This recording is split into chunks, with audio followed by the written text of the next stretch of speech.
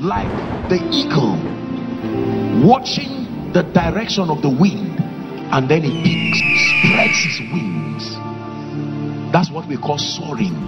It does not fly. The eagle soars. Are we blessed? Now, I said all that to take you to what I'm about to discuss now. That as far as dominion in the earth is concerned, there is a pattern that controls dominion upon the earth. Are we together now? The pattern for dominion upon the earth is called king, priest, prophet formation. This is the tripartite formation from the entire Old Testament that has controlled the exerting of dominion. Everywhere you see men and you see nations excel in the Bible, it is because they honor this pattern. King, priest, prophet. Are we together? And you see, you were only given the liberty in the Old Testament to be one or two of them. No one was given the liberty to be all three. You will understand Revelations 5 and verse 10 when I'm done showing you the advantage that the saints have today. You did not have the liberty to be both a king, a priest, and a prophet. So if you were a king, you would have to pray and depend on the arrival of a prophet or a priest for that formation to be filled, for victory to be established. Even heathenistic nations like Egypt, they simulated that pattern for their victory. The Bible says, when the Pharaoh had a dream, he called on his wise men and astrologers. You see that now? They were not kings, but they were those who were mediums that access the divine. You will never walk in dominion if you do not understand the patterns. There was a man in the Bible. I wish I had time, my God. I think that should be First Samuel 13. Please go to verse 8. There was a very noble king in the Bible called Saul. Saul wanted to be both king and priest at the same time, and he lost his throne as a consequence. Is that okay? Yeah. The Bible says, and he tarried seven days. So Samuel had given them a word to wait in Gilgal that he was coming within a week. And the week had passed and he had not arrived. Pressure was mounting upon him. And he took the initiative that I am a king. Perhaps let me also be a priest. Watch what happened. The Bible says, but Samuel came to Gilgal and the people were scattered from him. Next verse, please, very quickly. And Saul said, Bring hither a burnt offering to me. This is no longer the jurisdiction of kings. He stepped into the priestly ministry, although he was a king, and he offered burnt offering. The offering was accurate, but the person doing it was wrong. Next verse, verse 10. And it came to pass, watch this, that as soon as he had made an end of offering the burnt offering, the prophet and the priest now arrived. And he came to meet him and he saluted him. Verse 11. And Samuel said, What is this that you have done? What initiative did you take like this? You have violated a pattern. It is true that the king, priest, prophet formation should be, but you are only a king. It is not given to you to be both a prophet and a priest. And watch this. He gave an explanation, you would think it would suffice. Because I saw that the people were scattered. And then you had prolonged the days appointed. And the Philistines were gathered together in Michmash. Next verse. Reading to 13. Therefore said I, the Philistines will come down upon me. And I have not made the sacrifices, the supplications. Therefore, I offered. Are you seeing now? He is saying, I know that our victory rests upon this pattern, but I'm waiting for you to complete that equation. And the enemies are mounting. The king is there, but the priest is not yet there. The prophet is not yet there. So dominion cannot happen. So I took initiative, my God. Verse 13. And Samuel said to Saul, You have done foolishly. He says, Thou hast not kept. Is that in your Bible? You have not kept the commandment of the Lord, which he commanded. For now, the Lord would have established thy kingdom forever. But because you violated this pattern 14, watch this. Give us 14. Now your kingdom shall not continue. And the Lord had sought him a man after his own heart. And the Lord had commanded him to be captain over his people for the simple reason that thou hast not kept the patterns. Please be seated.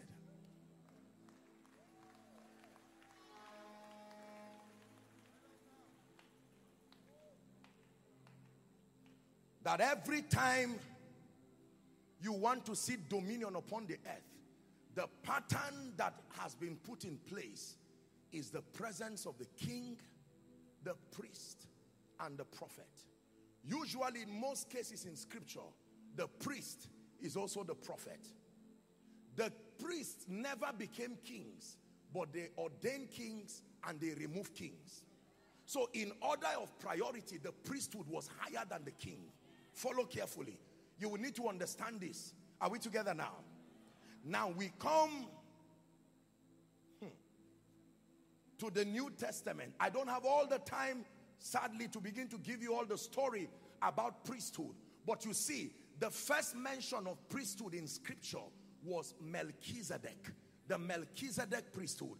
And there were only two people under that priesthood Melchizedek and Jesus. Now, by covenant, the saints. Are we together? The next mention of priesthood is what we call Potipherah, the priest of On. This was in Egypt. And his wife, his daughter Asenath, who married, who got married to Joseph. They had priesthood. That was why Egypt was a place of power. Hallelujah.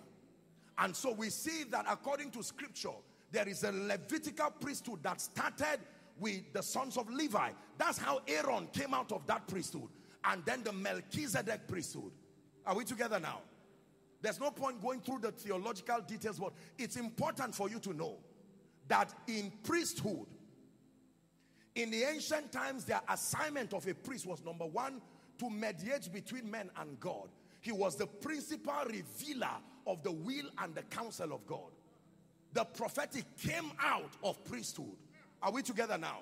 So the first assignment in the Old Testament of priesthood to, was to mediate between men because until Christ came, there was no possibility of having a personal experience with God. It had to be a corporate experience of God as revealed by a chosen vessel. Are we learning? If you are together, say amen. So Jesus shows up and begins to redefine things. And today, he makes a very profound statement. You are a chosen generation. then he uses a term that should not be used together. He says you are a royal priesthood. What changed? A royal priesthood. Hmm. Then we get to Revelations, and John is given a new order. And he says, We have been made unto our God this dual formation that completes the pattern for dominion kings and priests. One person. Now you understand my teaching. We have been made kings that every believer in Christ has the liberty today to operate priesthood and the advantage of dominion by being kings. Please sit down. Let's talk a bit about it. Someone pray in the spirit in one minute. Something is about to change in your life. Something, an orientation by the spirit. You're not an ordinary indigent coming from Warri or Nigeria or Africa. No, there is an ordination upon you to be a manifestation of the glory of God and the possibility for walking in the patterns that make for dominion have been afforded you today in Christ. Hallelujah. Now, let's talk about the priesthood of the believer in one minute. Because you see, in order of priority, it is the priest that births kings. You can have a priest and a prophet without a king, but you cannot have a true king without a priest. Samuel never became a king, but he ordained Saul and removed Saul. That means in the order of spiritual priority, the health of your being a king depends on the excellency of your priesthood. Follow carefully. That if there is something wrong with your dominion, the diagnosis is that we have to refer to your priesthood to check what is happening there. That anytime situations and circumstances do not obey you, it is not your crown that is the problem. We need to go to your altar. Is someone listening now? So most believers are in shock as to why the elemental forces, why systems and structures do not listen to them. So they say you are a king, but you wore your kingly regalia too early.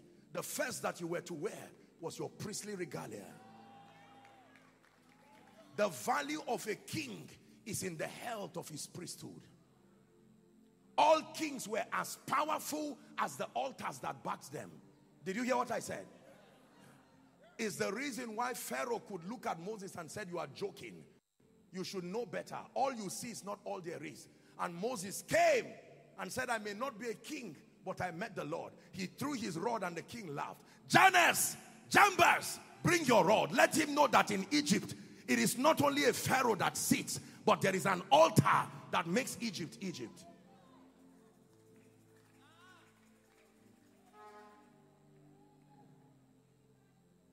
Are we together? Now, today for the believer, please listen, and I want you to write. Today for the believer, your priesthood is a holistic capture of all the spiritual activities that make for your knowing God, your encounter with Him, and your transformation. When we say priesthood for the believer, we are describing the entirety of the activities you engage in that culminates to your knowing God and culminate to your transformation. Are we together now? When we say you are a priest, we're not talking of the one who offers burnt offerings like it were before. But now we are describing it's a holistic capture of all the spiritual activities that make for your intimacy with God your conformity to the image and the character of the Christ in experience, and then your transformation. The tools that make you a king are only found when you become a priest. Let me say it again. The tools that make you a king are only found in the place of priesthood. I'll repeat it one last time. The tools that make you a king are only found in the place of priesthood. If you ignore priesthood and you want to be a king, you will be a king without a crown and a scepter. The crown and the scepter is not found in the palace, it's found in the secret place. So when the Bible says we have been made unto our God kings and priests, it is the pattern for dominion. But you need to understand that in order of spiritual priority, priesthood is what births kingship. The value of being a king is on the strength of your priesthood. Are we together? Therefore, your priesthood today describes the health and the strength of your prayer life, your word study life, your fellowship with the Spirit, your sacrifice. These are the spiritual activities. That was the apostolic model of priesthood that was given to us in Acts chapter 2 and verse 42. They continued steadfastly in the apostles' doctrine and in fellowship, in breaking of bread and in prayer. Acts chapter 6 and verse 4. But we will give ourselves continually to prayer and to the ministry of the word. You are not a priest until we examine the health of your prayer life, the health of your word study life, the health of your participation in the house of God. Because there is a blessing that is only found when believers are gathered. Psalm 133, for there the Lord had commanded the blessing, even life forever. No matter how you know God, there is a dimension of him you will never know until you are in the corporate gathering of the saints. Are we together? So when you say you are a priest, it is a title that does not earn any respect in the spirit until it is powered by your prayer life, powered by your word study life. There are many people who claim I am a priest, but it is clear that life has refused to respect that honor and that title because it is not a blind title, it is a call to responsibility. If you say you are a priest, whether serving the devil or serving God, one thing is common between them there is no laziness. Both are a call for responsibility. Am I right on that? Whether it is a, an evil priest in the village, they are not lazy people. There are things common between all priesthoods, regardless who you serve. Prayer. But we will give ourselves continually. Ladies and gentlemen, you want to stir up and stand in the position of priesthood, you have to master the mysteries of the altar. Situations and circumstances will not bow to you because of your name. They have no regard for your face. They respect the fire that burns upon your altar. Is God speaking to someone? So do not say you are a priest until you have invested time building in prayer. And I wish I had time, I would have taught you. According to scripture, there are four assignments of prayer. Number one, and the major assignment of prayer is for your growth and transformation. Luke 9 29. And as he prayed, the Bible says, the fashion of his countenance were altered, and his raiment became white and glittering. Assignment number two of prayer is a platform for making requests and obtaining promises. The Bible says, and what things soever ye desire, when ye pray, not when ye wish, when ye pray, believe that thou receivest them and thou shalt have them. Assignment number three for prayer is as a tool for spiritual legislature. Hmm. Are we together? The Bible says, declare thou that ye mightest be justified. Number four, the fourth assignment of prayer is as a prophetic tool for warfare and intercession. And I sought for a man to stand in the gap. And there was none. That should be Ezekiel 22 and verse 30, 31. Hallelujah. Satan had desired to sift you like wheat, but I have prayed for you that your faith fail not. And when you are converted, use that same formula to strengthen your brethren. That every time you see an attack, according to James 5:13, is any man afflicted? Let him pray. You are not a priest if you do not build the altar of prayer. Number two, your soundness in scripture is what gives you authority in life. The word authority comes from the Greek word exousia, and that word is a summation of your understanding.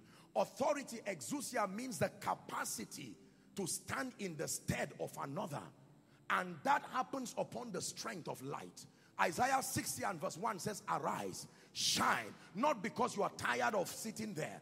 It says, For thy light has come. Amplified says, Arise from the depression and the prostration that circumstances have kept you. Rise to a new light. Hallelujah. We rise in this kingdom upon the strength of the mysteries that we have. Matthew chapter 13 and verse 10, 11. It says it has been given unto you to know the mysteries of the kingdom of heaven. Galatians chapter 2 and verse 2. The apostle said, I went up by revelation. Is God speaking to someone? And so, number one, your prayer life. You want to be a priest indeed, you must have high level spiritual illumination. John 1 5. That is that. The Bible says, in when you read Genesis chapter 1 and verse 5, the Bible says, God called the light day, and he called the darkness night. Watch this. he never called evening darkness. He called the absence of light darkness. That means even if it is 12 midnight in your life and you have light in the spirit, you are in the day. Are we together now? So that the realm of the spirit does not work with chronological time. No. If it is 6 p.m. in my life, I am still a custodian of light. It is day. And the Bible says there is a relationship between darkness and weeping. That weeping endures for as long as there is night, the absence of light. He called the light day. So if you catch a revelation by 10 p.m., your night has become day. It can be 12 noon and in the spirit you are in darkness. Hallelujah. Are we together? Priesthood now. So here we have a robust prayer life. We have access to light. And how many of you know that light is in degrees? Am I right on that?